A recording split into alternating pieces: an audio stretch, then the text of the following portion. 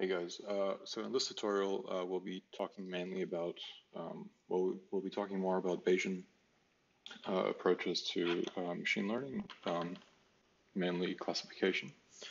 Um, so if you recall last time uh, we covered linear classifiers. Uh, today we're going to be talking about probabilistic, probabilistic classifiers. Okay, which are a different approach uh, to classification um, that are also widely used. Um, and then we'll kind of see a special type of uh, probabilistic classifier called the uh, naive Bayes classifier.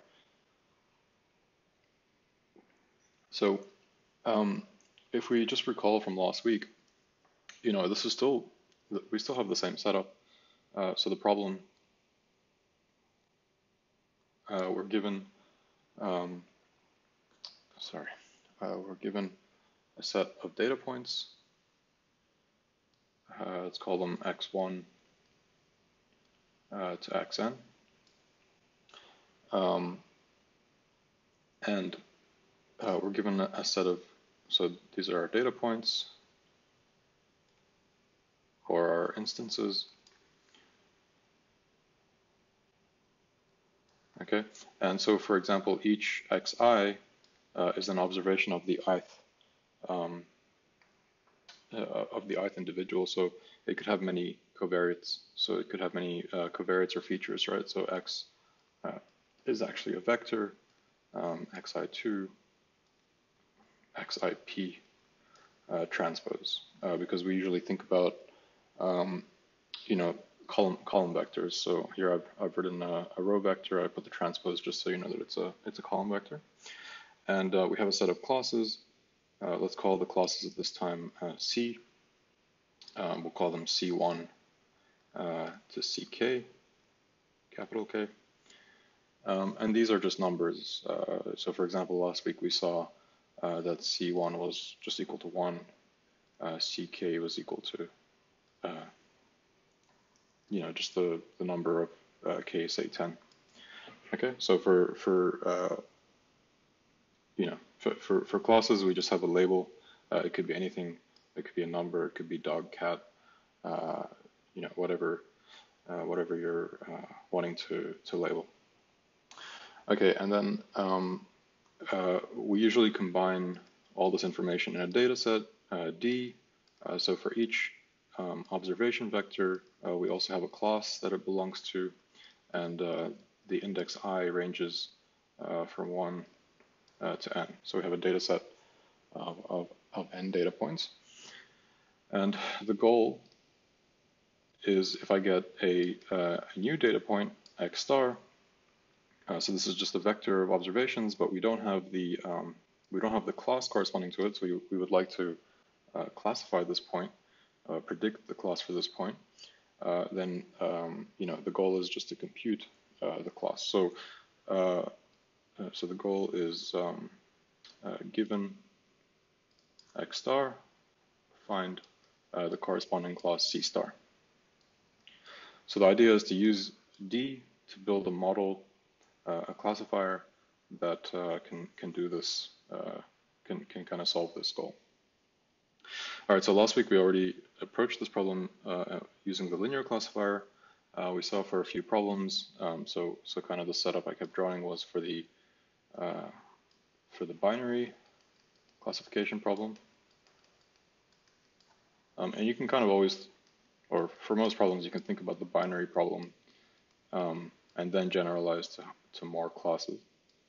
Uh, but usually it's, it's useful to think about the binary problem first. Um, and we, you know, we, uh, we drew or we kind of computed a linear classifier and we, and we said that's a classifier of the form um, you know, just having a straight line between them. Anything that goes on the right side of the line is uh, the cross clause or the positive clause. Anything below the line is the um, negative, negative clause. Okay, and uh, we saw a few ways of building that, and we'll see, we'll see more as we go through the course. Um, so the idea behind probabilistic classifiers is slightly different. Um, now we're under, we're kind of uh, interested in uh, so for probabilistic classifier, uh, we're kind of interested in the probability of class K uh, given X star, uh, which is the probability that, uh, you know, the, the, that X star belongs to um, belongs to the class K. So, so for example, um, our, you know, to, to solve this uh, problem, um, you know, we would classify C star as being the argmax of the probability of CK uh, given X star, uh, where we maximize over the classes K. So, you know, in, in the example uh, where uh, we have two classes, okay, what we're saying is that C star is going to take the maximum or the argument that maximizes uh, two probabilities, the probability that, uh, you know, uh,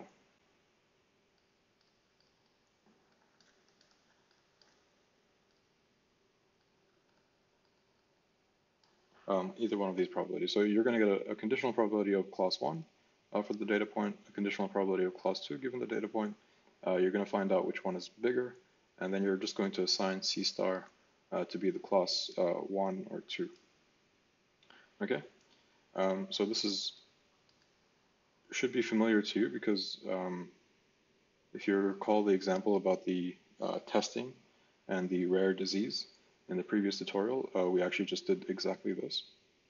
We just talked about data as being the test and class as being uh, either having the disease or not. So that was a binary uh, problem there. Okay, so um, so we have kind of our, let me write it up here. We have our kind of decision rule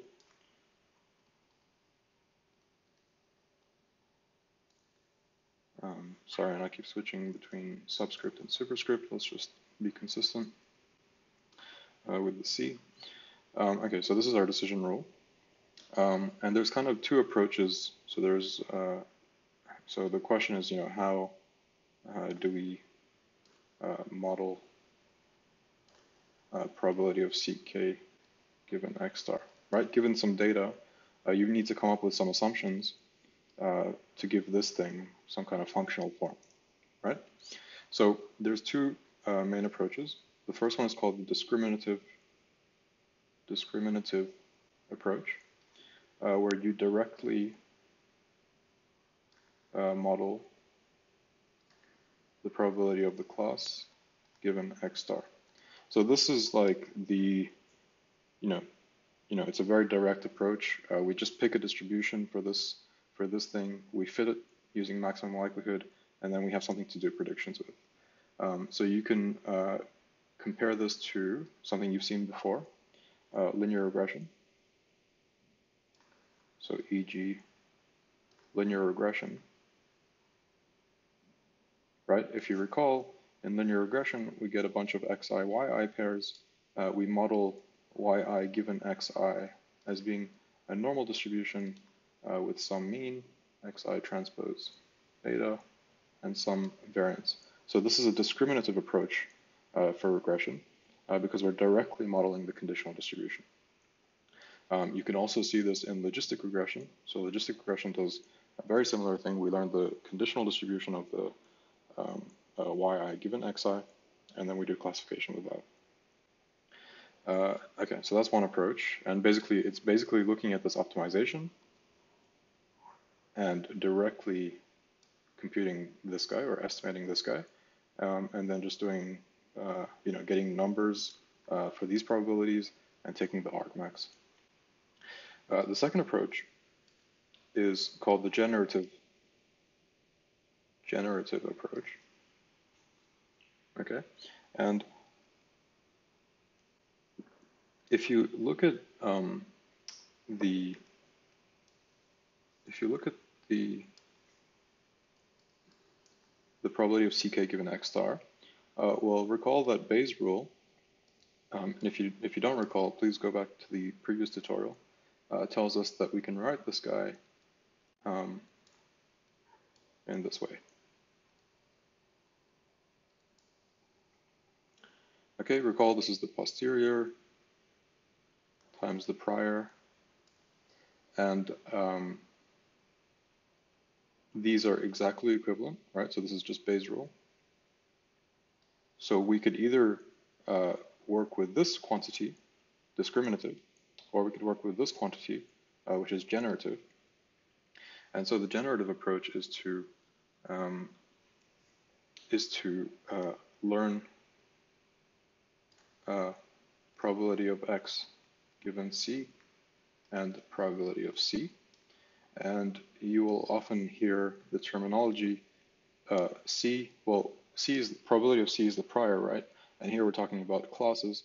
So you'll often hear that this is called the class prior. And uh, this probability x given c is the posterior, uh, but it's also kind of uh, conditional on the class, right? So you'll hear this as the class, you'll hear this being called the class conditional uh, distribution, or yeah, class conditional distribution. So that's kind of the jargon uh, that's used in these, um, you know, probabilistic classification approaches, in particular generative approaches. Um, okay, so uh, what does this mean? Well, just to give you an idea, uh, kind of a picture, uh, if we go back to our diagram up here, uh, what does the generative approach look like? Okay, well, imagine that um, uh, what, what this is saying is that for each class, uh, you're going to have a distribution of the x's. Okay, so imagine that for this class, uh, imagine that we're working with a uh, class conditional distribution x given c is going to be normal, mu uh, with uh, covariance matrix sigma. So if you're confused by this notation, just recall uh, uh in, in multiple dimensions, uh, the, the normal distribution has a uh, covariance matrix, and the mean is a vector, right? it's not really that important for now, but just imagine, um, you know, in three dimensions, I think I've drawn this before, you have this bell-shaped uh, you have this bell-shaped distribution. And the way we picture this in two dimensions usually is to draw the contours. So for example, uh, uh, let me use a different color. Um, if you picture this distribution kind of projected down to the two-dimensional space, uh, you would kind of get this uh, picture. Okay, and as the as the circles become more concentrated, uh, what this means is that this is a higher probability. Uh, you know, like this, the, the peak, the peak uh, gives us a higher probability event. Um, so so as the as the circles get uh, you know kind of tighter and tighter, this is where the peak is, and as they spread out, this is where the low probability is. So this is kind of you can think about this as like kind of uh, you know shining a light on the distribution and then looking at the shadow um, on the two-dimensional plane. And the reason we do this is just to picture kind of a three-dimensional object in two dimensions. And the reason I'm mentioning it to you is, well, okay, the assumption now is that we're going to have, for each class, okay, uh, is going to have a distribution. So this class here, right, you can imagine that uh, if we fit a normal distribution, uh, it might look something like this.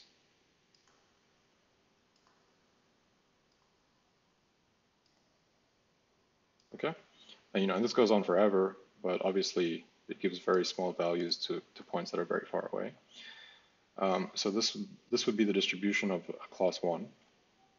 And so the point of this is that, you know, uh, and okay, before I, before I tell you the point of it, let's, uh, let's look at this class. You'd have another, uh, you'd have another Gaussian, a normal distribution down here. Uh, maybe this one looks a little bit different. Um, it looks a little bit flatter.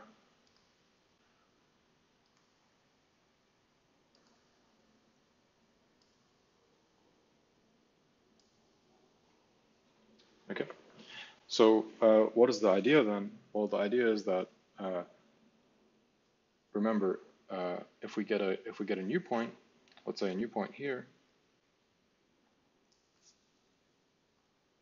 Let me use a brighter color.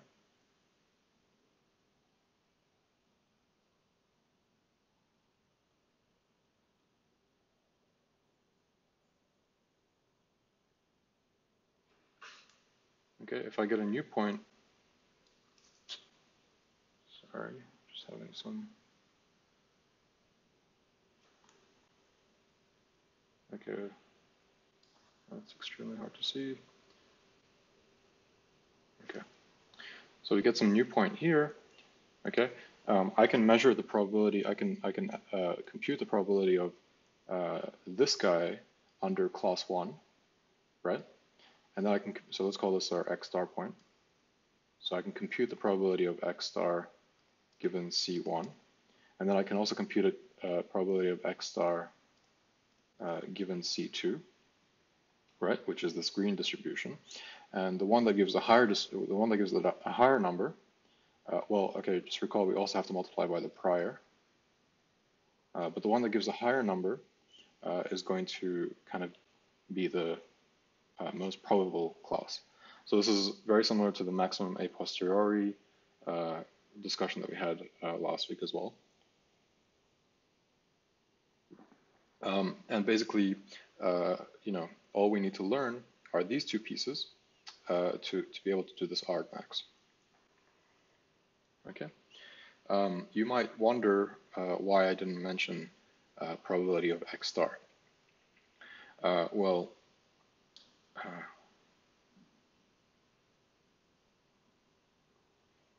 okay, again, we're going to take the ck as being the argmax uh, over the k of the probability of um, ck given x, uh, which we just said that is equivalent to the generative model or the generative approach, uh, which looks at uh, this guy in a different form.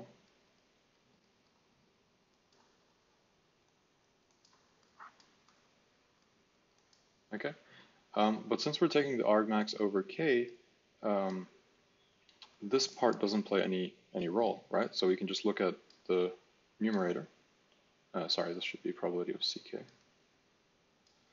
Uh, since the, the denominator is just the probability of x, uh, it doesn't make any difference. And, and to see this even uh, more clearly, uh, remember when we had the two class problem, uh, we're taking a maximum over probability of um, x given c1, probability of c1, probability of x, and the probability of x uh, given C2, probability of C2 over the probability of X.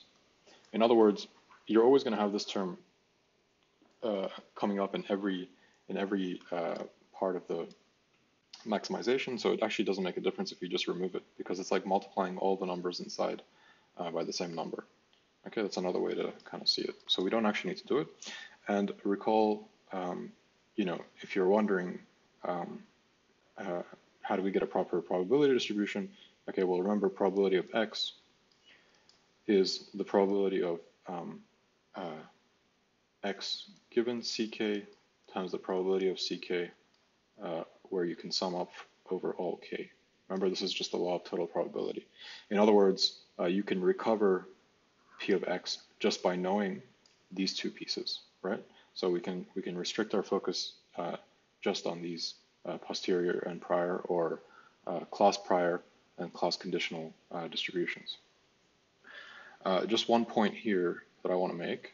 I don't think we cover it too much in this course, but if you do more machine learning courses, you will see it again. Um, is that in our previous problem, you know, the two class,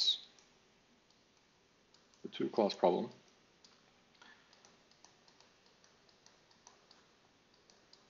okay, uh, my model there was that x1, uh, sorry, the, the, the, the probability of x um, given c1 is a normal distribution uh, with mu1 and sigma 1. And the distribution for the second class is also going to be normal uh, with mu2 and sigma 2. Uh, what I'm saying is that um, each class is going to have its own its own normal, normal distribution. Uh, each of those normal distributions is going to have its own mean. So you can imagine in that picture that I drew before, uh, it's going to be something like this, right? Um, so we're going to estimate the mean. The, the best estimate uh, of the mean is the sample average. So you can imagine it's going to be centered right on the right in the middle. And um, the variance, well, the best estimator of the variance, we, we saw that in the linear regression um, tutorial, is just going to be the sample variance. So um, you can imagine that for you, I, I'm not going to go through the estimation, but I just want you to picture, you know, how do we actually fit these things? Well, you have data, um, and you know that each class has its distribution. You're just going to estimate these parameters in a very standard uh, way using maximum likelihood uh, or least squares or whatever. Uh, but these numbers are going to make sense at the end of the day, um, and they're going to be estimated from the data. And similarly for the second distribution, uh, we're going to get mu2, which might be here, so that might be your mu2, and we're going to get some distribution around it. And the shape of the distribution, uh, you know, before I drew kind of like a, a more um, a more of an oval than a, than a round uh, distribution, uh, that's kind of that's that's kind of um, uh, dictated by the the covariance matrix. I'm not going to go into that uh, too much now, but you can look it up uh, if you're interested. Now, uh, there's a really important um, model which is called uh, uh, linear discriminant analysis.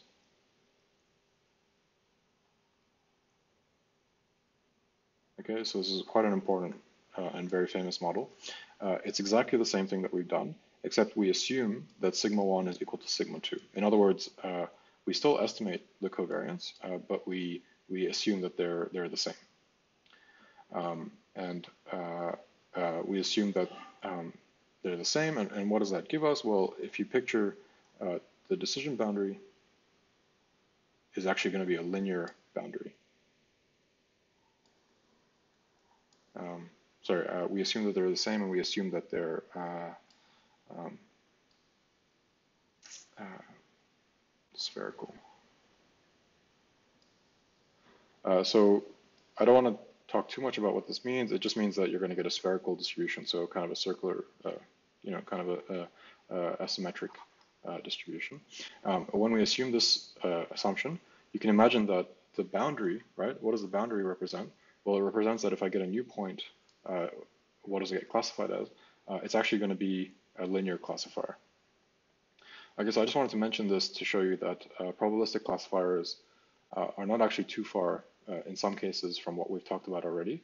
Uh, they're not a completely different thing. Uh, they're just kind of a different way of looking at the problem, where we look at each of the classes and kind of identify some randomness and probability distribution. but it turns out that the decision that the different approach makes can actually give you the same exact kind of uh, decision boundary as the simple classifiers that we talked about before. Okay, so that's kind of the intro into um, uh, into probabilistic classification. Now, um, we've already seen, as I said, uh, discriminative uh, models, methods. Uh, so remember, linear regression is discriminative. Logistic regression, which you've seen in the in the lectures, is also discriminative. Discriminative. Um, but in generative models, um, you know, we have uh, these two guys that we need to learn. Okay, so um, let's talk about uh, some problems with actually estimating um, uh, these distributions. So uh, I should say uh, the probability of x given ck, um, you know, this depending on your problem, the problem that we just saw, uh, this could be continuous or discrete. Right, so continuous is the normal distribution that we just saw, uh, but it could also be discrete, um, which is uh, the stuff that we're going to see uh, in a little bit, uh, but it could be, uh, you know, um, multinomial or multivariate Bernoulli.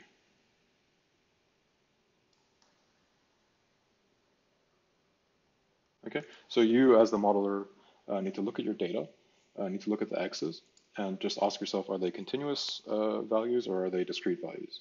Okay, that's, that's kind of up to you. Uh, the prior, uh, well, you know, if you have k classes, then it's a discrete uh, problem, right?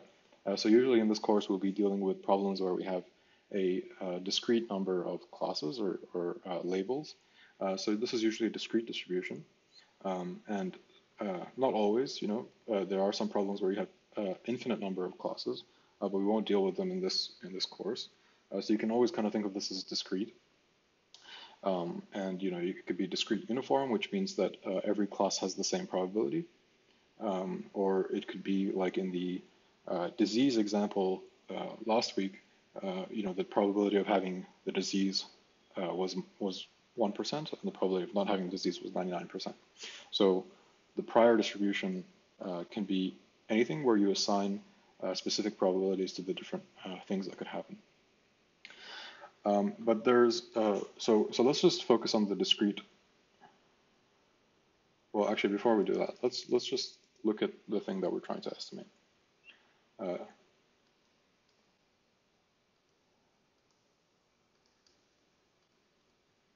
okay, we need to estimate this guy. Um, and just recall that each x is a vector, right? So probability of x, uh, let's, let's talk about xi. Uh, this is xi1, xi2, xip uh, given ck times the probability of ck.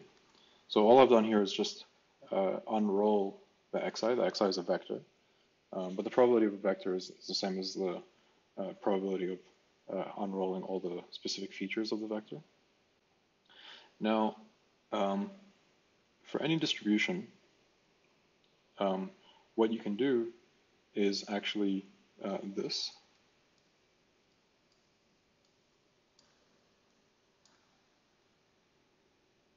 Uh, maybe I should make this a bit clearer. So uh, what I have here is the probability of um, uh, let's let's do a simple example. Uh, the probability of AB given C times the probability of C. Okay. Now uh, you should be able to see that this is actually just the probability, the joint probability A, B, C. Right. This is just an application of Bayes' rule probability of um, ABC can be written like this. And remember that there's, uh, you know, we could we could rewrite this as probability of A given B and C times the probability of B and C. Uh, this is another application of Bayes' rule. Uh, and we can actually write this using Bayes' rule as probability of B given C times the probability of C. Okay, so what I'm doing here is repeated applications of Bayes' rule uh, to go from, from this step uh, to the second step, and then I'm applying Bayes' rule to the second step, to the second probability uh, to get this, okay? And uh, what I'm doing is basically isolating each of the terms uh, by themselves. So if I apply this same logic uh, to this guy, here I have x1 to xi1 to xip, not just a and b, um, I would get something that looks like this.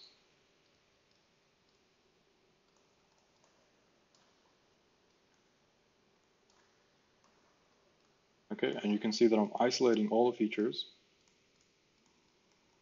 and conditioning on all the remaining features. And if I keep doing this up to the last one, um, uh, what's the last one going to be? Uh, IP minus 1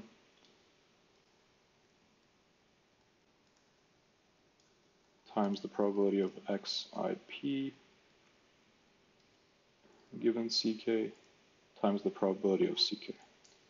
Okay, so we can we can rewrite this uh, guy as this. Okay. Um, and, and I haven't made any assumptions here. You can always do this for any probability distribution. Um, we're just using Bayes' rule, so you can always do this kind of computation. Um, and the reason I'm doing this computation is to kind of demonstrate uh, a difficulty that we're actually going to have in, um, in actually estimating these probabilities. So how uh, to estimate uh, the probability of xi given ck uh, times the probability of ck. Well, how do you estimate prob uh, so, so let's just imagine that uh, each xi um, uh, each feature is going to be binary. And let's just assume that uh, the classes are also binary. So what I'm saying here is that the feature can either be 0 or 1. So all these numbers can be either 0 or 1. and also the class is going to be uh, 0, 1. And um, uh, how do we estimate these probabilities? Well, let me, let me actually just give a, a slightly easier example uh, where we're looking at um, the probability of xi uh, given ck uh, for the case where we only have uh, uh, where we have p equals to say four. Well, actually, let's make it easier, three. So now we only have three features. Uh, so if I do the same uh, calculation, I would get the probability of xi1 given xi2, xi3, and ck, probability of xi2, uh, xi3, uh, ck, probability of xi3 given ck, probability of ck. Okay, so the reason I'm doing this is because I want to kind of explicitly give you an example with a, a smaller number of features so you can kind of see the problem a bit easier, a bit, a bit more easily. Okay, so what does it mean to estimate probabilities? Well, imagine that you know you have a database. Uh, this is the observation one. Uh, observation one is going to have a value for uh, each feature. So here we have three features, and we're going to also observe a class uh, CI. So this is the class of the ith observation. Uh, so imagine observation one, you know, has some values, one, zero, zero, and it belongs to class one. Uh, for observation two, you're going to have maybe uh, zero, zero, zero, and it belongs to class zero. Uh, for observation three, uh, you might have one, one, one, and it also belongs to zero, and so on and so forth. So each data point uh, can be represented in this in this table. so why am I talking about this? Well, because I'm just wanting to show you the uh, kind of computational difficulty in estimating uh, each of these components. Okay, so how do I estimate uh, um, how do I estimate the probability of CK? Uh, well, I need to estimate the probability that CK is equal to 1 and the probability of CK equals to 0, right? So what would I do? I would look at my table. These, these are prior probabilities, so they have nothing, to, you don't need to look at the data at all.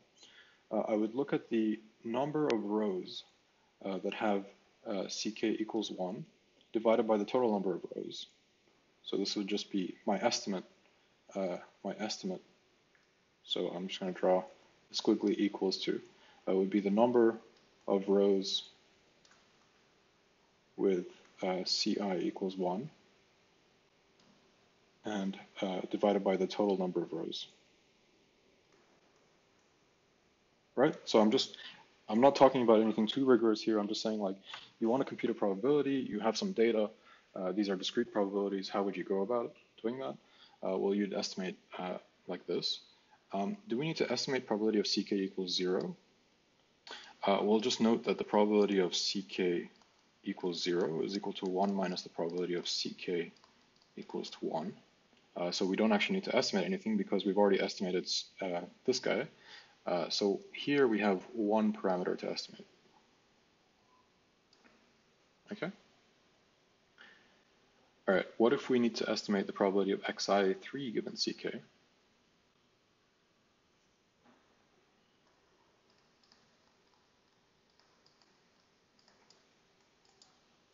Okay, well, we need to look at the probability of xi3 equals to 0 uh, when ck is equal to 0, the probability of xi3 equals to 1 uh, when ck equals to 0, the probability of xi3 equals to 0 uh, when ck equals to 1, the probability of xi3 equals to 1 when ck equals to 1. So what am I doing here? I'm looking at all possible combinations of ck and xi3, and in order to estimate these probabilities, um, I need to look at all, uh, if we go back to our table, uh, so to estimate 0, 0, I need to look at my table and look at every time I have a 0 and a 0 here uh, divided by the total number of times that I see uh, the class 0. Okay, um, it's the point I'm trying to make is that uh, we just have uh, this many things to estimate. Again, this guy is 1 minus the probability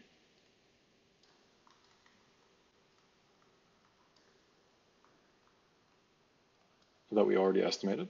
Okay, so if you have the first guy, uh, you don't need to estimate the second guy because, uh, you know, if you add the probabilities, they have to add up to 1. So the probability of xi3 equals 1, uh, given ck equals 0, is just 1 minus the probability that it's not equal to 1. Well, it's equal to 0, uh, given ck equals 0. And same thing here, right? If you have this guy, uh, you don't need to estimate this guy. Uh, you've already got an estimate for it. So how many parameters do we need to estimate here? Uh, well, we need to, to estimate this guy, we need to have uh, two. Okay, so there's two things to estimate here. Um, what about, let me, let me use a different color. So we have uh, two things to estimate here, one thing to estimate here. Uh, for this guy, uh, just imagine that you're going to have to compute all combinations of xi2, xi3, and ck. Uh, what you're going to get here is 2 squared uh, things to estimate. And similarly here, you're going to get 2 to the power of 4 things, uh, sorry, 2 to the power of 3 things to estimate. Okay, and so you can see as the number of uh, feature, uh, as the number of things in the conditioning statement increase, the increase here is, is increasing as a power of 2. It's an exponential increase. So for example, up here, if we make the same assumption about the features only being uh, binary valued and the class being binary valued, uh, how many how many things do we need to estimate to compute this probability? Uh, this would be um, uh, 2 to the power of uh, p, if I haven't made any mistakes. Now, uh, in most problems, p is quite large, right? Number of features can be large. Let's say p is equal to 100. Uh, that means that uh, just to compute the first probability, you need 2 to the power of 100 um, uh, things to estimate. Um, and there's no way in, in, the world that you're going to get that many data points, right? It's, it's impossible to get that many data points. Um, so we run into a, a, big problem quite early on uh, of uh, too many things to estimate uh, with our data set. Okay, so this is the, the point of this problem is, is really just to motivate some of the difficulties in uh, machine learning and, and Bayesian learning, uh, you're always kind of restricted by the number of data points you have. Uh, so you need to be kind of um, smart about how you use your data. And this is kind of where the role of assumptions comes in. Um, so the naive Bayes, okay, so let me rewrite uh,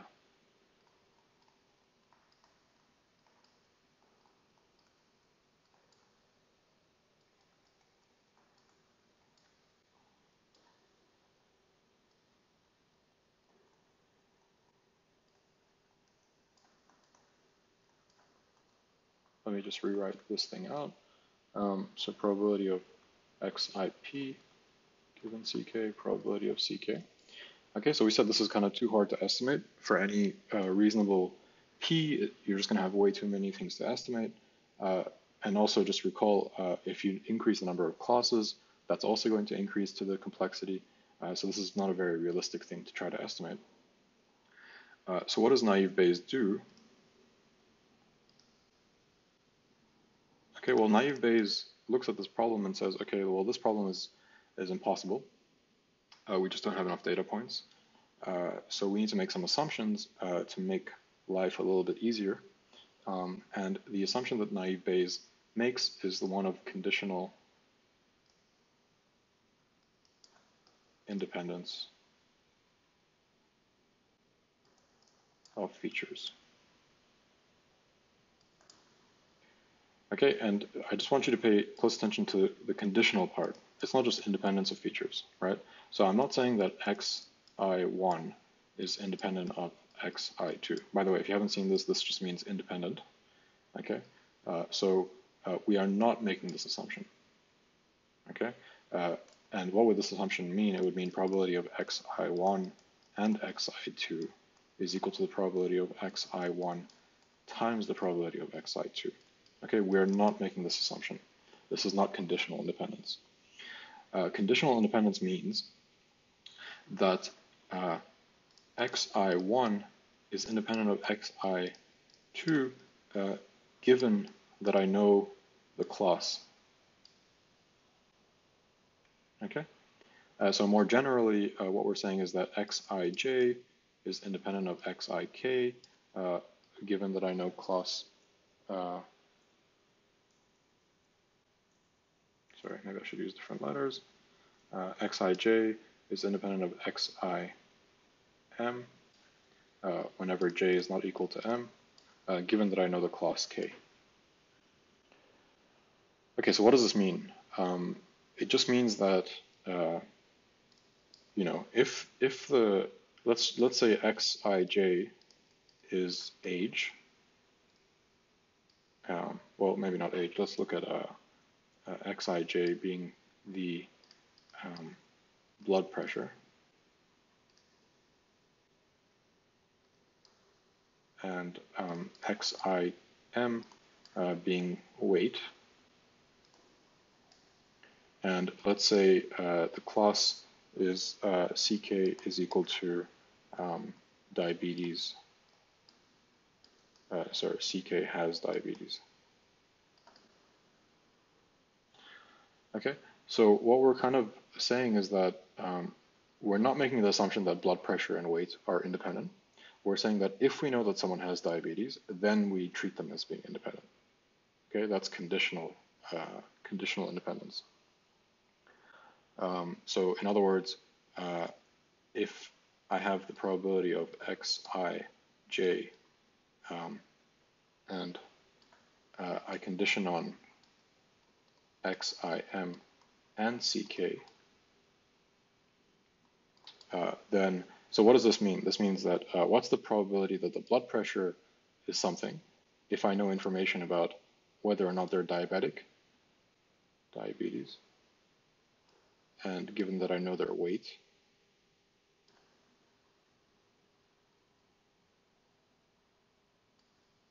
Oh, and uh, sorry, let me just, let me make this clear. Uh, this is the independence assumption, right? The independence means that uh, if these two guys are independent, uh, then it's just the product of the probabilities. Another way to write this is that uh, two things are independent um, if uh, if you know if I'm trying to find the probability of something and I condition on a piece of information, if they're independent, uh, then the piece of information gives me gives me no help. So I can just completely remove it and just write this. Okay. So similarly, what I'm saying here is uh, the probability of the blood pressure, uh, given that I know the weight and and I know the class is diabetes, is the same as writing uh, the probability of the blood pressure uh, given diabetes. So this is called conditional independence. And uh, the reason I wrote it this way is because now if you go back to our, um, if we go back to the problem up here, okay, well, we can write that probability of xi given ck. Okay, well, what happens to the first part? If I know the class, I don't need any of the other features.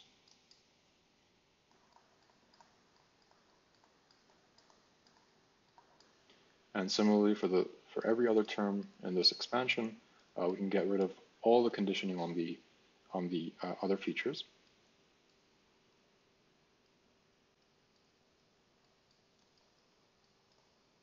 Okay, and I can write this for simplicity, the probability of CK times the product of uh, J equals 1 to P, probability of Xij uh, given CK.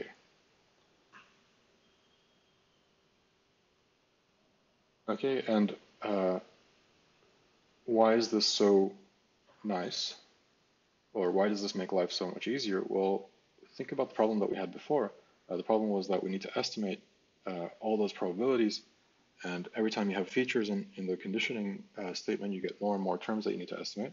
Uh, but the naive Bayes assumption, so this is, again, let me just put naive Bayes here, just to make it very explicit, that this is not obviously equal to, unless you make this assumption. Uh, the naive Bayes assumption tells us that the features are conditionally independent on the class, and so uh, each class, uh, you know, the probability of a particular feature given the class um, uh, can be written like this. And so now we only have uh, you know, much less, much fewer terms to estimate uh, than before. Okay, so for example, when xij is binary and ck is binary, okay, how many terms do we have to estimate? Uh, well, we just need to estimate two terms, right?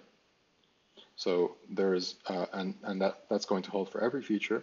Uh, so the total number of, uh, of, of, terms to estimate is much lower, and uh, we should be able to handle it with any reasonably sized data set. Okay, so um, so this is basically the setup of the naive Bayes kind of classification world. Um, and it, it is a very strong um, like mathematical assumption that we've made, uh, conditional independence of the of the features, uh, because you can imagine in, in a lot of tasks, um, you know, for example, like uh, uh trying to predict if someone has diabetes, uh, you know, the blood pressure and weight uh, are going to be correlated, right? Like if you're if you if you are overweight, um, you know, that tells you something about blood pressure, and so that's going to help you in the modeling. Um, it just turns out that this is not a terrible assumption uh, in the sense that uh, we still get reasonable models. Uh, so we can still get some kind of good performance from the classification. Uh, it's also um, it's also kind of like looking at the uh, alternative. Well, if the alternative is that we have no model at all because uh, it's impossible to fit the model, then this is clearly you know much better to have something rather than nothing. Um, of course, there are models in between. So naive Bayes is kind of the most extreme assumption. Uh, um, you could still have models that are, uh, for example, um, you could still have a dependence of a particular feature on, uh, so xij, uh, xim, and ck.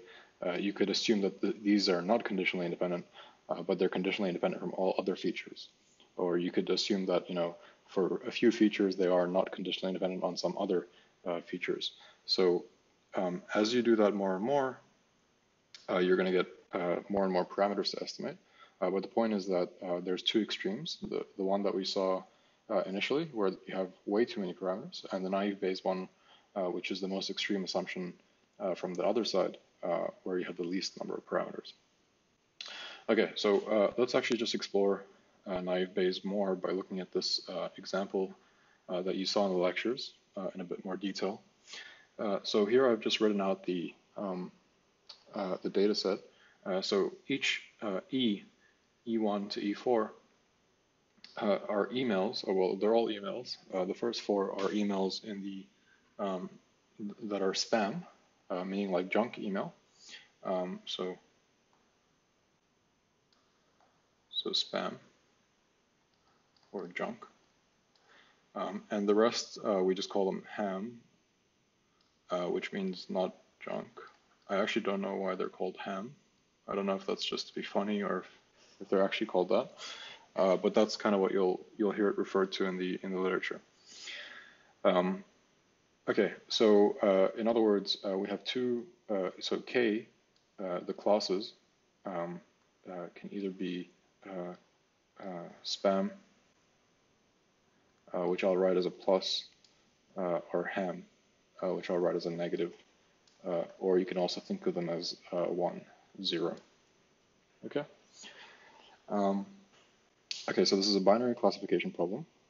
Um, and uh, let's just remove the difficulty of the prior. Um, but if you were going to estimate the prior, well, there's 50-50, right? There's there's 50% chance of seeing class plus, uh, and there's 50% chance of seeing class negative. So uh, we're just going to assume this is estimated as, as 50%. Um, uh, it's not really that important uh, in this in this problem, but uh, um, we're just going to take it as the uh, as the you know just overall mean sample average. Um, and then to explain exactly what's going on with the emails, um, so each email has a number of words. Um, and we're told that uh, um, the vocabulary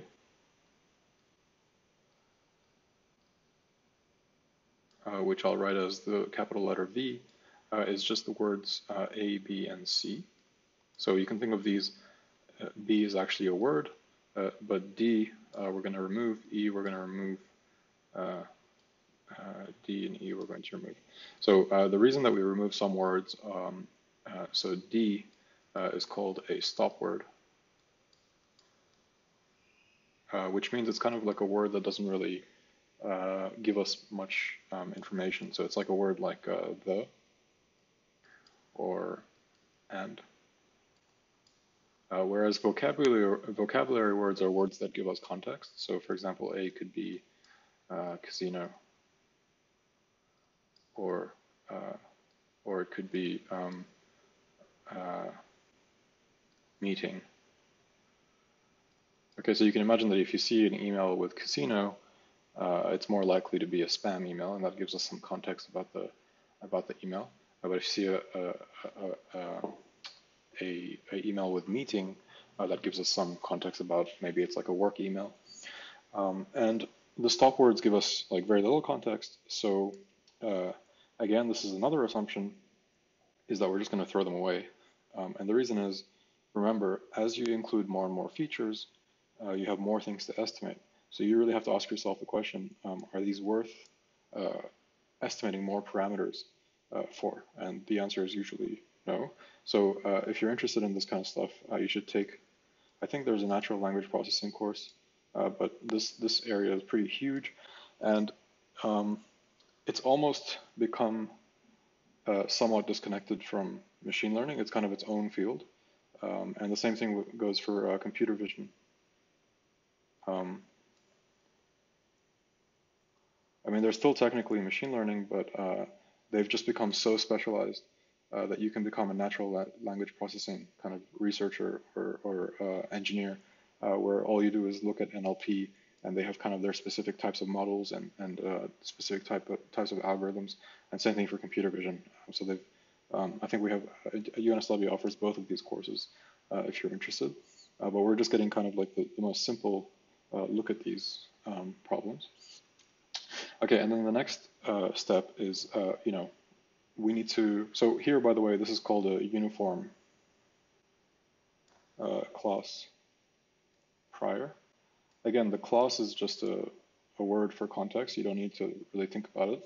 Uh, it's just a uniform prior, which just means that I give equal weighting to all uh, to all uh, classes. all right. So the next thing uh, to do uh, for the naive Bayes setting is to uh, compute. well, is to kind of choose um, the class conditional distribution.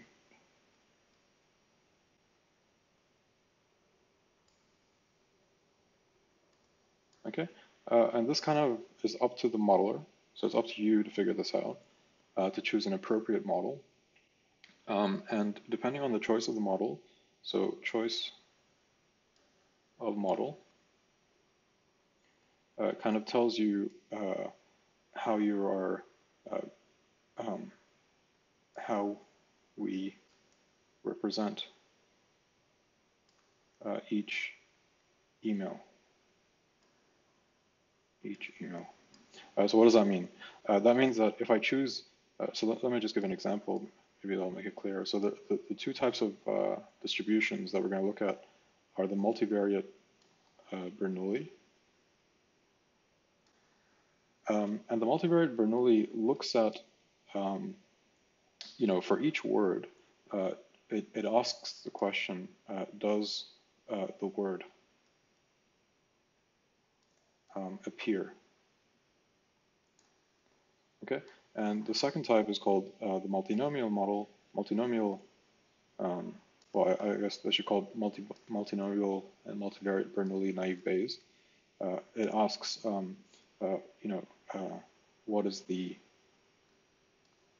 uh, um, well, I guess it asks what is the the uh, probability of seeing the word. Um, in other words, uh, uh, the multivariate Bernoulli just cares uh, whether or not the word appears. It doesn't really care about how many times it appears. Okay, whereas the multinomial uh, naive Bayes actually wants to look at the proportion, or, or actually looks at the, pro the, probability of seeing the word. Um, so, for example, um, uh, let's say you, you're considering the word gambling. or let's say gamble. Um, if you're under the multivariate Bernoulli, uh, you just care if this word comes up or it doesn't come up.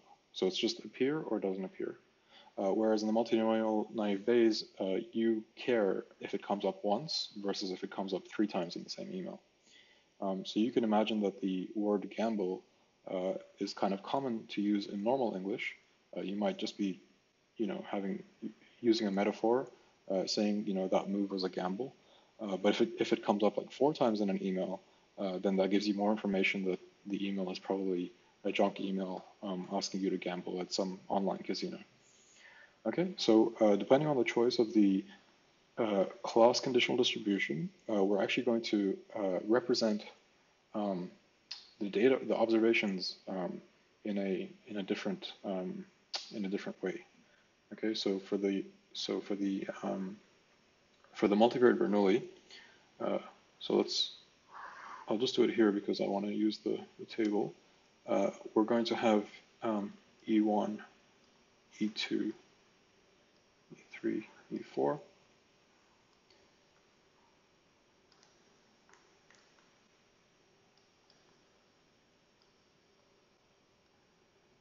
Okay, and uh, well, the features, right? Let's let's write out the features uh, for xi, um, and let me let me use this notation: xia, uh, xib, and xic. So remember, the vocabulary is just ABC. So now I'm looking at these features XIA, XIB, and XIC, uh, which means um, that, uh, so XIA is equal to, well, this is a Bernoulli, okay? Um, so I guess what I should actually just verify. Xi little v is a Bernoulli. Um, and uh, let me write the probability as uh, P, um, sorry.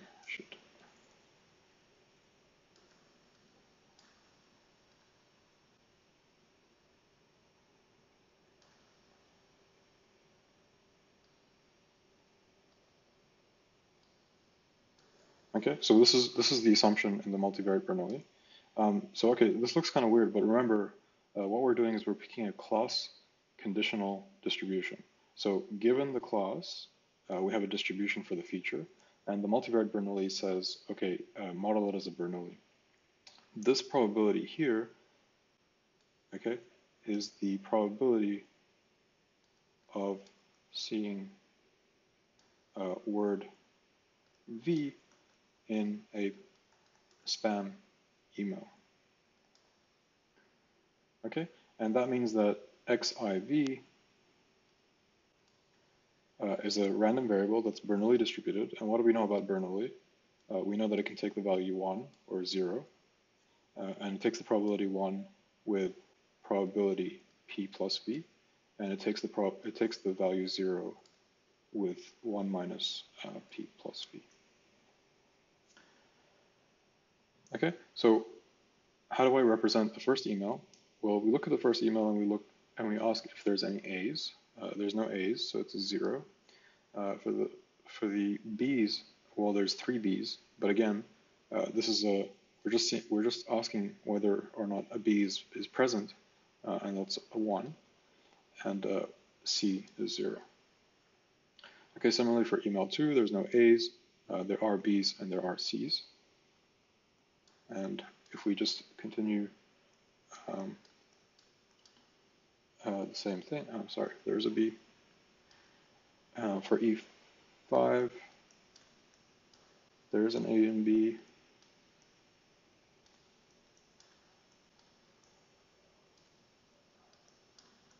Okay, and E8 has uh, just stop words, so it's got nothing. It's got no uh, A's, B's, or C's. Uh, so this is basically how we're representing each data point. This is the feature vector, right? So for email one, the feature vector is just 0, 1, 0. Okay, so then the question is, uh, how many parameters uh, do we have to estimate? Okay, well, if you look at this model, um, we're going to have a, uh, a probability for each Bernoulli distribution, and there's uh, a, a probability for each word and for each class. Okay, so if you think about it, uh, the, the, the parameters of the model, so model parameters, uh, well, for the positive class, we have to estimate p plus a, p plus b, p plus c, and for the negative class, we have to do the same. Okay, and remember, each of these are probabilities of, of seeing uh, the word in that particular class. Um, okay, how do we estimate a Bernoulli probability? Well, if you go back to the uh, supplementary video for tutorial one, uh, we did the maximum likelihood uh, for the Bernoulli model, and we showed that it's simply um, the sample average, right? So uh, remember the coin toss example. So if x1, xn are Bernoulli theta, uh, then the maximum likelihood estimate is just the sample average, right? So we need to look at the number of successes and divide by the total number. So for PA plus, right, uh, let's just first ask, what is the total number of uh, things we should divide by? Well, this is conditional on the class, um, and we have four emails in the class. Okay, so it's going to be something divided by four. Uh, the something is the number of successes we get in four trials. Uh, well, for uh, the word A, uh, we actually get uh, uh, two successes out of four. Okay, so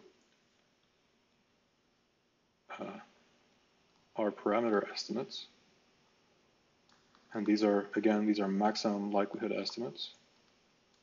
I mean, maximum likelihood in this particular problem is uh, is extremely uh, straightforward, um, a very intuitive result, right? Like you just divide the frequency by the total number of things in the class.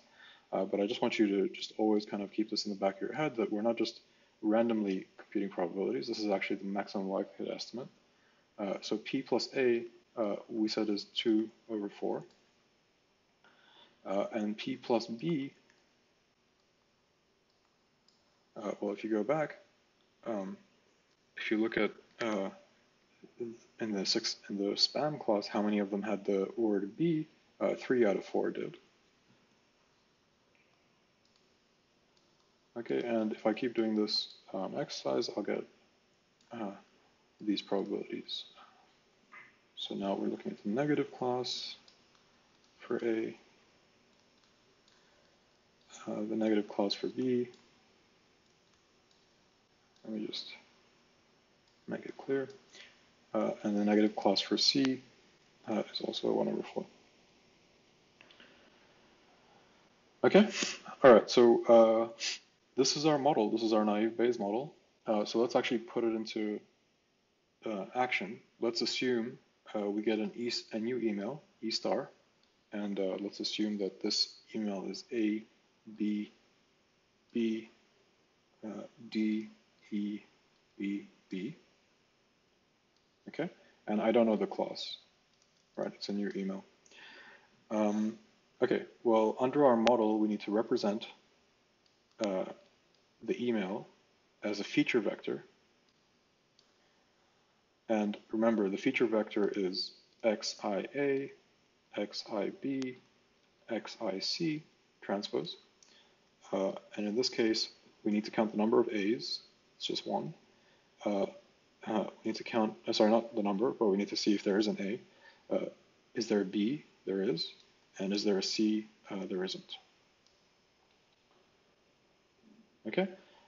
Um, and then uh, we need to look at our rule for classification. It's the argmax for um, k in plus or minus of the probability, sorry, of the probability of ck times the probability of x star given ck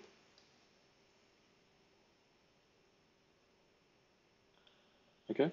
And this is going to be the arg max of the two probabilities probability of C plus, probability of X star given C plus, and the second probability for C minus, probability of X star given C minus.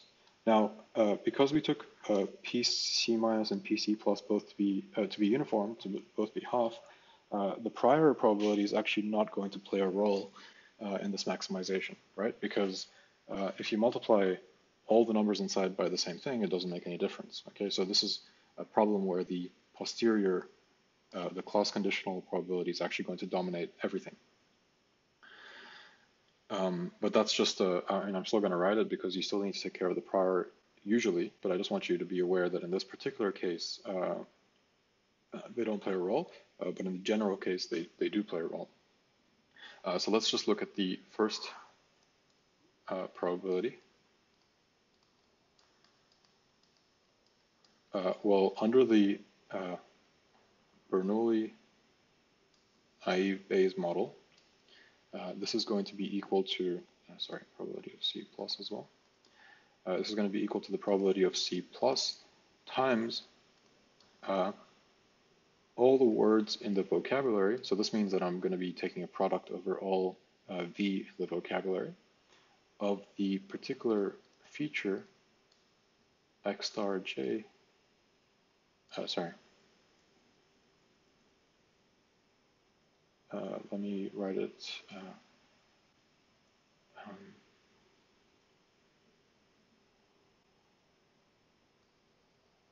uh, sorry, the notation's a little bit uh, messy, but I just want to make it really clear. Um, we could just write it as, uh, you know, we can write it as xj equals to x star j given c plus right? This is the naive Bayes assumption. The naive Bayes assumption says that we can break up uh, the joint, uh, sorry, the conditional uh, uh probability of the data given the class into a product uh, that factorizes over the features. And x star j, these, these terms are just the uh, three terms, um, sorry, I should have x star a, x star b, x star c. Okay, so what is the probability that the jth feature, again, notation is not good. This should be V, because I'm summing over V. Okay, uh, what is the probability that the Vth feature takes on the particular value seen in X star? Um, and, and under our model, we're assuming this is Bernoulli. So this is the probability uh, C plus times, uh, let's, let's look at it uh, very carefully. The first V in the vocabulary is A. So probability that the uh, feature, you know, the flag for A is equal to x star A given C plus times the probability that xb equals to x star B given C plus times the probability of xc equals to x star C given C plus. Uh, I'm just being really pedantic here and writing every little step out. Uh, you don't have to do that in practice that x a, well, okay, what is x star a? Uh, it's, it's 1, right? So this is 1 given c plus, uh, probability that x b is also equal to 1 given c plus, and probability that xc equals to 0 given c plus. So this is the this is the actual observed, these are the actual observed values in the feature vector at 1, 1, 0. Um, okay, so this is equal to probability of C star. Okay, what is this probability here? Well, XA is Bernoulli, uh, sorry, I need to be really careful. XA given C plus is a Bernoulli P plus A, right? And what is the probability that XA equals 1 given C plus? Well, hopefully you know that what is the probability that a Bernoulli variable is equal to 1? Uh, well, that's just the probability, right? PA plus. So this becomes PA plus. The same exercise here. Uh, but what about this guy?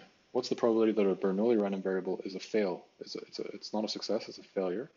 Um, so that's, hopefully you, you recall, that's just 1 minus uh, PC plus. Okay, and that just comes from the way uh, we define the Bernoulli random variable, right? Uh, it's 1 with probability p and 0 with probability 1 minus p. Okay, and now uh, we can put in our fitted values, the, the estimates for these parameters.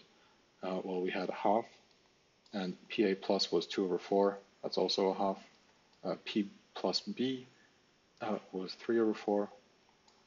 And 1 minus uh, PC plus is 1 minus 1 over 4. Um, let's see if my mental maths uh, will work quickly. This is going to be 3 over 16 times 3 over 4, uh, which is 9 over 64. Okay, so this is the probability, uh, well, this is this number here. So we're going to take the arg max of the first guy, which is 9 over 64.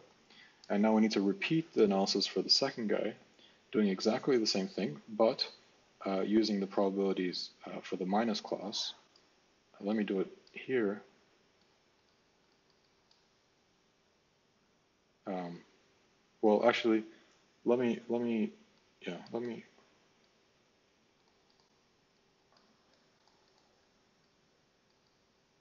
now we're looking at C minus, right? So, so you see that the conditional, the class conditional probabilities are going to be slightly different. They're going to be uh, based on the C minus class. I'm not going to write it all out. The first term is still going to be half. The second term is, um, uh, uh, the second term is um, P, uh, well, we, we observed a one, right? So it's, it's P A minus P b minus, and then again 1 minus p c minus, uh, which turns out to be 9 over 128. Okay, and so clearly this number is bigger. So this is going to be class positive. Okay, because the argument uh, is the first argument, uh, which is the, the positive class. And so that's basically um, how we how um, you know how this naive Bayes classifier works. It's pretty simple, and it's quite intuitive. It's kind of what you would have done um, had you not assumed there was a model at all. Uh, you you would have probably um, just multiplied the probabilities of of the, of the frequency of uh, seeing the words uh, together. Um, okay, but one thing to be aware of is uh, imagine that we uh, we observe uh, the same four emails. Um, and uh, let's just imagine E5 to E6, uh, sorry, E8 uh, stay the same. Uh, but let's imagine that now uh, e, E1 to E4 don't have any presence of the word A. Uh, so uh, let's see. Just want to copy it down correctly. Okay. Uh, so we have a problem here. Okay. Um, and the problem is that we uh, we actually never see uh, XIA. We never see the word A. so this could happen, for example, if um, you know in your in your data set you just never see a particular word. so the classifier is just hasn't been exposed to that word before. Um, so uh, the problem here is that uh, your estimate for PA plus uh, is going to be the total number of uh, positives, uh, the total, total number of uh, emails that have the word A in the positives, so that's going to be zero. so what's the problem with that? Well, if you look at the computation that we did here, here we're multiplying by PA plus. And this is going to be zero now. So what happens is that uh, the entire probability for the class is, is, is dominated by a single probability, uh, single feature. So if I've never seen the word A, that just tells me that I'm, that I'm always going to classify this email um, as having zero probability of belonging to the positive class. Uh, generally, you know, you're building a model uh, with multiple features. You don't want a single feature to dominate uh, your decision, right? You want, to, you want your decision to be a function of all the features. Uh, so this is problematic behavior. Uh, also notice that, uh, for example, uh, you'll get this problem if, um, if imagine that you also, let's say, let's say that you, uh, you actually observe the word C in every, in every email in the positive class, then your estimate of PC plus is going to be one, okay? And that's equally problematic uh, because uh, when you get a, a, new email that might not have the word C, such as the one we were dealing with here, uh, you'll see that uh, you'll get a 1 minus PC plus. Uh, so now it's being dominated by this term, which is also going to be 0, right? 1 minus 1 uh, is going to be 0. And so, again, it's problematic because the one, one feature is really dominating everything. Okay, so let me just stick to the original oh.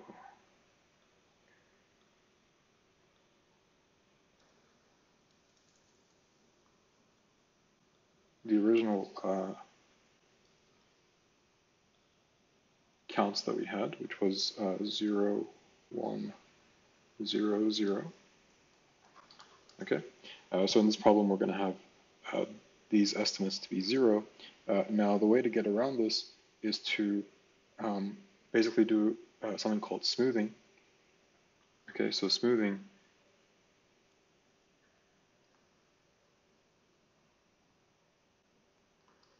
uh, the estimates.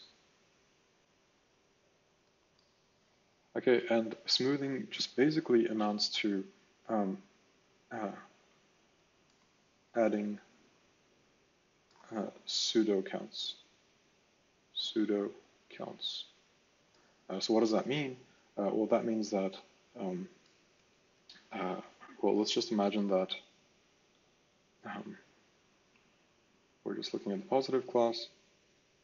Uh, what we're going to do is we're going to add, so again, the problem is that we never, we never saw the word A. Um, or the problem is that we always see the word A. Uh, so what we're going to do is we're going to add a pseudo count. Uh, I'll call it e plus 1 and e plus 2. Uh, and we need two pseudo counts in this particular problem uh, because um, you have two classes, right?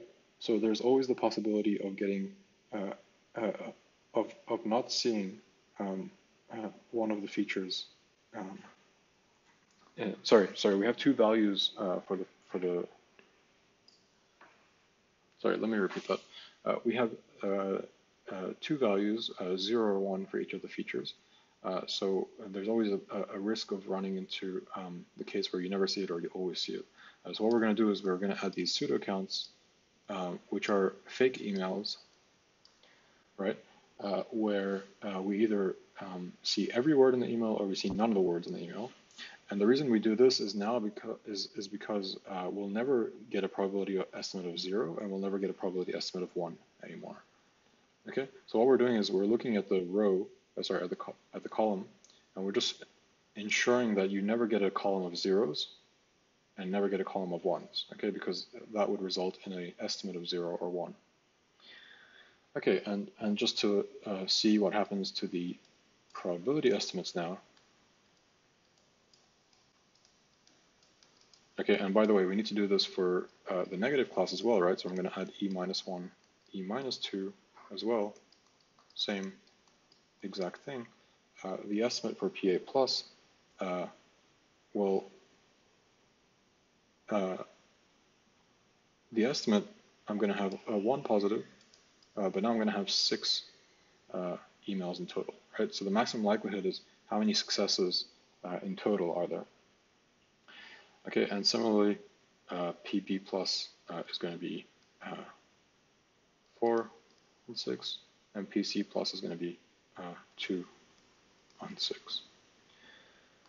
Okay, and uh, PC, sorry, P, PA minus uh, is going to be, you know, the same thing with these extra counts.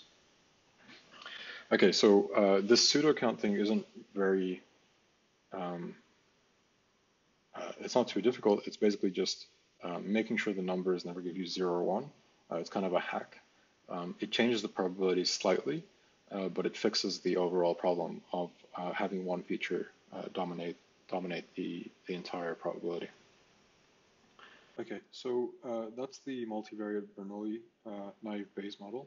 Um, so now we can move on to the second model I mentioned earlier, the multinomial um, naive Bayes, multinomial naive Bayes.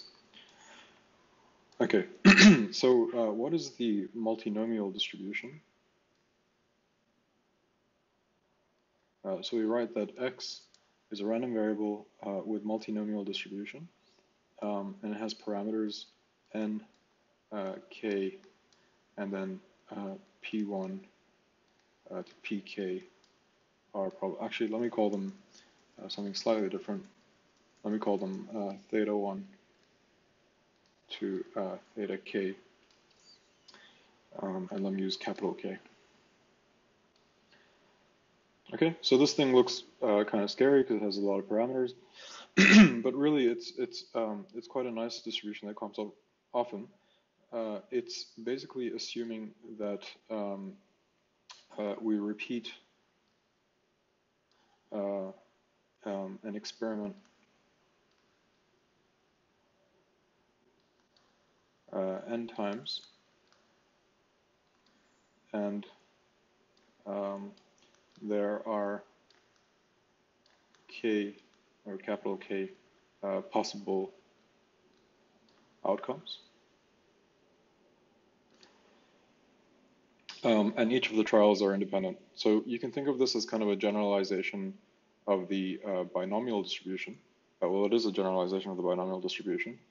Um, uh, but now we've got um, k possible things happening uh, rather than just uh, success and failure.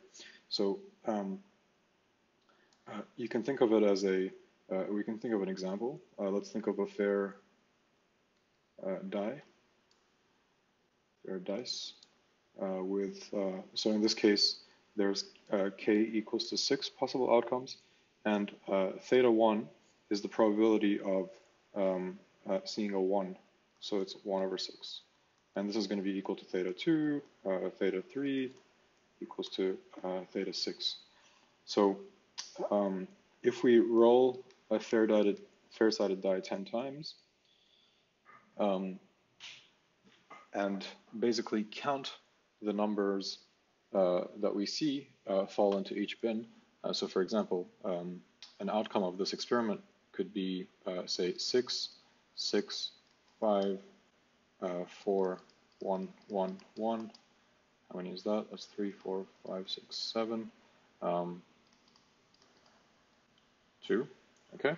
Uh, so this would be uh, on uh, trial one, we saw six. On trial two, we saw six. On trial three, we saw five. Uh, in this case, the um, the value that the that the multinomial, uh, like if we sampled from this particular multinomial, uh, the vector, this is what we would have seen. So it would have been uh, the counts of the number in bin one. So there's three ones, there's one two, there's two threes, there's a single four, a single five, and then two sixes. Okay, so let me just make sure this all counts up to 10. So three, four, six plus four is 10. Okay, so uh, basically, uh, the multinomial distribution, you can think of it as a distribution on histograms. Okay, because if you think about this x, x vector, uh, you can plot it on the, um, um, you can plot it, so here i have got the k outcomes, and then I can plot the counts, uh, the frequency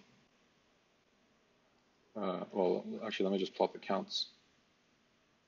Um, in the in the one vector, I'd have uh, three. Uh, in the two, I'd have uh, just one. Um, and I'd have two threes. Um, uh, and then I'd have uh, one each in the four and five. And then in the six, I'd have two. Okay, so this is a histogram, right? you would have seen this hopefully at some point. Um, and basically, uh, if I if I if I if you see the terminology x1, x2, up to xn uh, coming from a multinomial uh, with parameters n uh, k and theta 1 to theta k, uh, that means that each one of these guys is a vector, okay, in uh, in R uh, k. Right. So if you think about this, in this example, we just saw one observation from the multinomial distribution um, in that case. Okay. So uh, this is why we call it a, a, distribution on histograms. All right, so um, to, to close off the intro of the multinomial, uh, the probability that, uh, the probability mass function, right? Uh, now keep in mind, this is a vector, right? Uh, is equal to, um, well, let me actually even write it a bit more explicitly. Uh, this is a vector x. So this is the probability that the multinomial is equal to x1 to x uh, k, uh, where each little x1 is like asking what is the probability that, you know, we have x1, little x1 many uh, values fall into the first bin. And uh, here we're asking how many, uh, what, you know, xk, uh, you know, what's the probability of seeing xk many, this is the number, say this is 5, for example. What's the probability of seeing 5 fall into the kth bin. Um, and this has a uh, um, a uh, a form that's very similar to the binomial. Um, it's n factorial times x1 factorial all the way up to xk factorial uh, times theta 1 x1, uh, theta 2 x2, all the way up to theta k xk. Okay, so hopefully this should look very uh, familiar to you because, um, uh, well, uh, what happens if we take uh, k equals to um, 2, okay? Uh, okay, uh, one thing I should mention is that um, the sum of the theta j's, j equals 1 to k, has to be one, right? If it's a if it's a it's a fair-sided die, you know, uh, the probabilities have to sum up to one. Okay, um, so uh, this should look familiar to you because uh, if you remember from the binomial distribution, um, x binomial and p, uh, what was the distribution there? Well, probability x equals to little x was um, n x, so n com combination x uh, p to the power of x, 1 minus p to the power of n minus uh, n minus x. And uh, if we just expand this top part out, we would get n factorial over x factorial, n minus x factorial, uh, px, 1 minus p, n minus x. Okay, uh, well, if you take the k here uh, to just be 2, right, you would actually get exactly the same, um, you, would get, would get exactly the same thing, right? Um, as this distribution, uh, because uh, you'd have theta 1 and theta 2. Um, uh, uh theta 2 would just be 1 minus theta 1, right, because they have to sum up to 1. So you would just get this p and 1 minus p. Um, the x1 and the x2 would have to add up to n. So we could write x2 as n minus x1. Okay, and so it's exactly the binomial distribution. So you can think of the multinomial as a distribution on histograms. Uh, you can think of it also as a uh, generalizing um, the binomial to k outcomes. Okay, not just binary outcomes, but k outcomes. All right, so uh, you can kind of see what's, uh, hopefully you can see what's going on here. We're going to treat each email as a sample uh, from the multinomial distribution, right? We're going to use the we're going to use the um, uh, we're going to use the multinomial to model the uh, class conditional uh, distribution.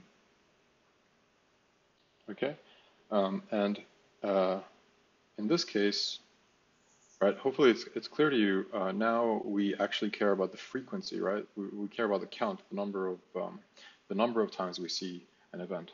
So if we're treating the words in the email um, uh, using the multinomial, uh, we now care about uh, the number of words or the number of times we see a particular word uh, in an email. So if we um, if we encode the same set of emails again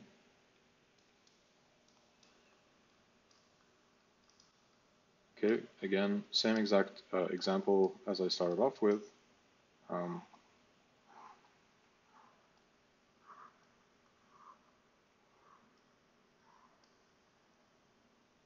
okay, uh, and we're still going to have three features. Uh, we'll call them XIA, XIB, and XIC again. Um, but now, uh, just be careful. Okay, we don't just care about seeing the word, in a particular email, we care about the number of times uh, it appears in the email. So if we look at email one, uh, how many times does A pop up? Uh, well, it pops up zero times, right? How many times does B pop up? Pops up uh, three times. And how many times does C pop up? Pops up zero times. Okay, so uh, what we're going to see here is a different encoding, uh, zero, three, zero. Okay, so this particular encoding cares about frequency. Uh, now, if you do this for all the rest, uh, it should be pretty straightforward um, to see uh, that it's going to give you this particular uh, representation. Um,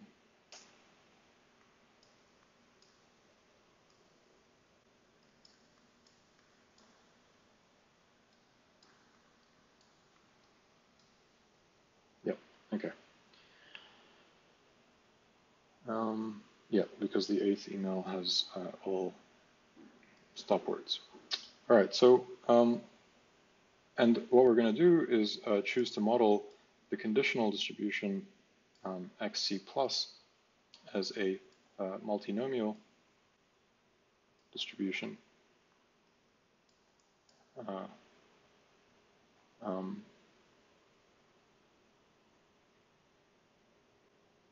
uh, with uh, with n and trials uh, k uh, possible outcomes and uh, theta 1 to theta k uh, probabilities of seeing those outcomes. Um, so, so to estimate this guy, we need to actually look at the um, look at the data a little bit differently than we were doing before.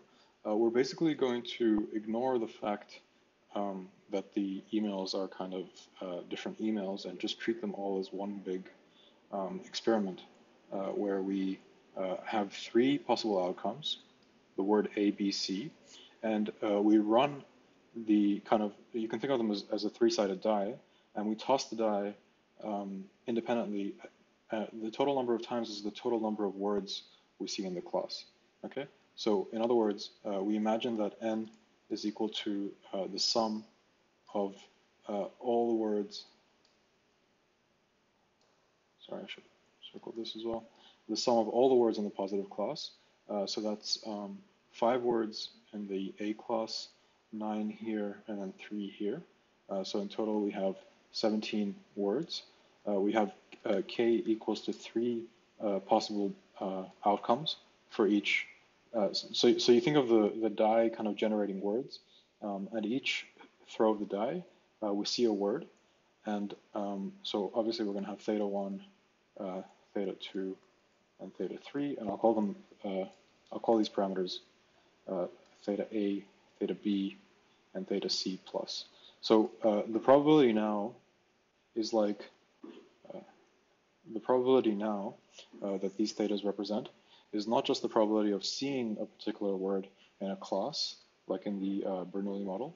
Uh, now it's the probability that the next word is going to be um, an A, right? If we're just generating uh, an email. So um, it turns out that the maximum likelihood estimator uh, is actually very simple in this case as well. I'm not going to prove it. It's, it takes a little bit more advanced math, uh, but it's just the fraction of uh, of the word a divided by the total number of words, right? Which is, is kind of intuitive. If I saw, if I, if I was tossing a die and I was trying to estimate um, the probability that a, a certain outcome happens, I would just divide the number of times that outcome happened by the total uh, number of trials. So um, uh, similarly, I'm going to do the uh, the same thing for the C minus uh, for the for the negative class, right? For each class gets a distribution. Uh, it's going to have n. Now its n is going to be the sum of the negative uh, words, the probabilities in the negative class. so 4 plus 8 11, so that's also 17. Okay, and this is just a coincidence, by the way, right? We could have had more words um, in the uh, in the in the ham class than the spam class or the other way around. It wouldn't have made a difference. Uh, k equals to three, and uh, theta a, theta b, and theta c. Uh, but now I'm going to put a negative to represent uh, that this is for the uh, conditional class distribution where the class is the negative class.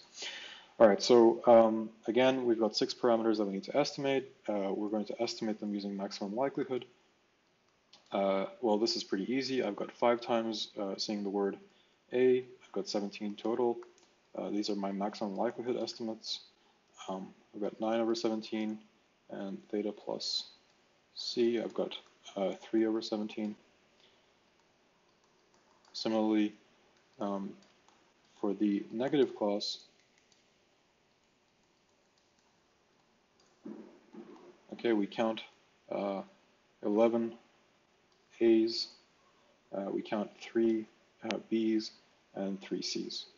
Okay, um, and now we have our uh, maximum likelihood estimates, and so that's it. So we're good to go now. We can um, start estimating, uh, uh, or we can start predicting for new emails what class they should belong to.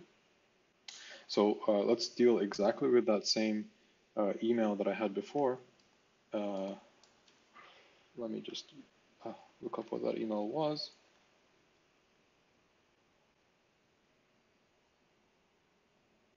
Okay, so it was um,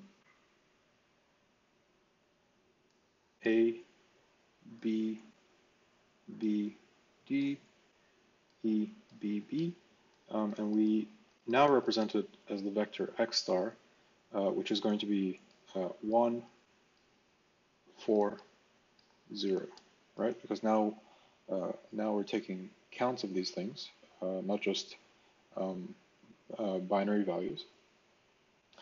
And um, well, let's start off with the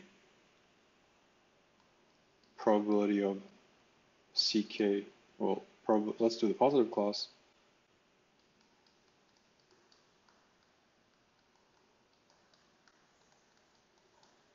Okay, uh, well, let me just plug in the formula uh, for the multinomial distribution. Uh, it's n factorial over x1 factorial, x2 factorial, x3 factorial. Okay, and when I write uh, um, uh, when I write x1, x2, x3, again, this x star is a vector, uh, x1, x2, x3, let me write, uh, sorry, maybe I should just make it really clear. Um, x star A, x star B, x star C, and uh, then here I can use the same notation, x star A, x star B, x star C, uh, times the theta A plus uh, to the power of x star A uh, theta b plus to the power of x star b and theta c plus to the power of x star c. So it is a bit um, tedious, the notation, but I just want to make it as clear as possible uh, where every little piece goes. Um, so let's just plug in the numbers. Probability of C uh, plus is a half. n factorial, well, in this case, you need to look at the uh, number of words in this histogram, right? Uh, here we have, um, uh, here we have, uh, sorry.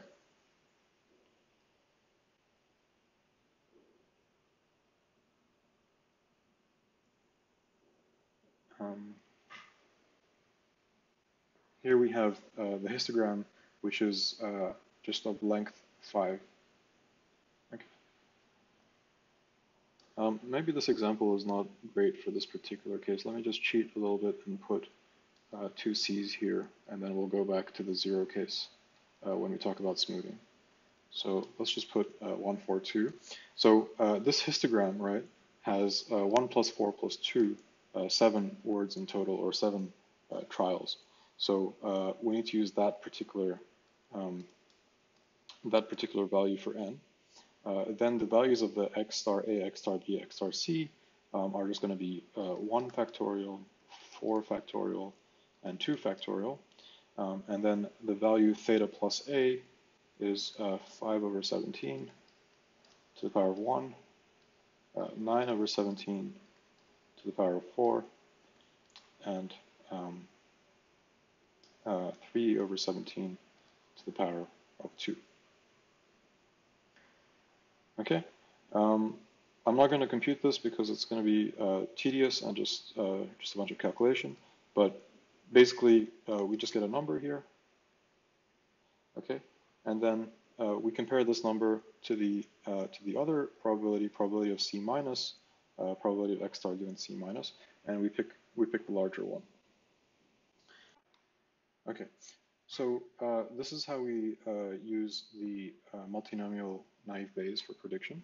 Okay, hopefully it's um, it's pretty straightforward. It's a different model. It's a different maximum likelihood estimator, but it's it's just kind of two ways of modeling um, so with the same data set, there's two ways of looking at it, two ways of encoding the emails, um, and we get slightly different estimates.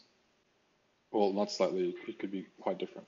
So, um, you know, this, this model makes a lot more sense um, for, for email classification because, um, you know, it, it, the presence of a single word in an email might not be enough to, to flag uh, that it's spam. Okay, you might want to know the frequency. Uh, it tends to be that junk email uh, might repeat uh, uh, phrase words, um, and so the multinomial might uh, be somewhat more accurate. One thing I wanted to cover before we finish up is um, the the problem with estimation that crops up in this case. Okay, um, so if we uh, if we consider um, the following alteration. Okay, so imagine that uh, here uh, we just saw zero, and here we just saw zero. Okay, uh, then we have the problem uh, that uh, the estimate for theta a plus is going to be zero over 17, which is uh, zero. And actually, it's not going to be divided by 17. It's going to be, you know, we're only going to have 3, 6, 9, 12 words. So this is going to be 9 over 12, 3 over 12. Okay, but the problem really is that we're going to get a zero. Um, and then if you look at the uh, computation down here, uh, you know, you're going to get a zero probability, and so you're always going to uh, be predicting zero for the positive class, regardless of the word. Um, and that's obviously not a good um, outcome, uh, because again, a single feature is dominating uh, the model just because you haven't seen it in your in your training set uh, before. so in this case, we need to do smoothing again. And uh, smoothing in this case is slightly different. Uh, if you think about what we need to do, uh, we need to add an extra email uh, where we see each of the word, each of the three words at least once, right? So uh, you can think of a, uh, let me just squeeze it in here. Okay, let me try to make it a bit neater. we're going to squeeze in um, E, P plus so pseudo count, uh, which is just a one, a one, a one. Okay, so let me just make it clear. EP1 is equal to one, one, one.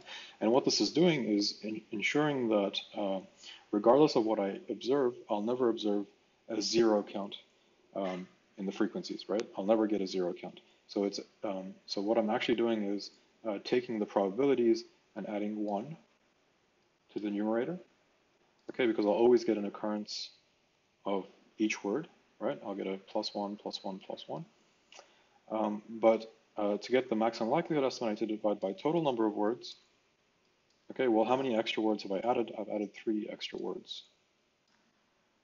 Okay, and obviously the same thing is going to happen on the bottom. uh,